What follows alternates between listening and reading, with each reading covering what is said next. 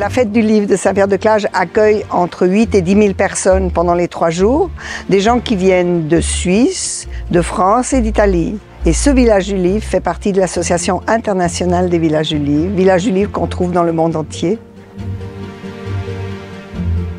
Alors tout au début, on a des bouquinistes qui sont présents avec des livres euh, anciens, des livres de seconde main, et nous recevons également des écrivains qui viennent d'éditer leurs livres.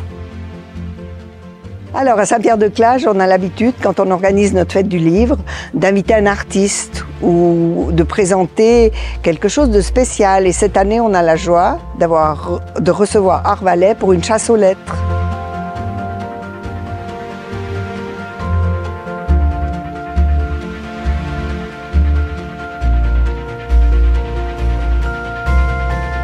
On a choisi le mot voilier parce que le thème de la fête du livre, euh, c'est le voyage et Arvalet a euh, une symbolique importante, c'est l'eau. Et pour moi qui voyage beaucoup et qui aime beaucoup les voiliers, qui ai fait quelques séjours sur euh, des grands voiliers, notamment en Amérique latine, et j'ai beaucoup dessiné de cartographie de bateaux, du coup on a choisi un mot qui pouvait être trouvé facilement pour les enfants et pour les adultes et qui correspondait bien à ce thème-là.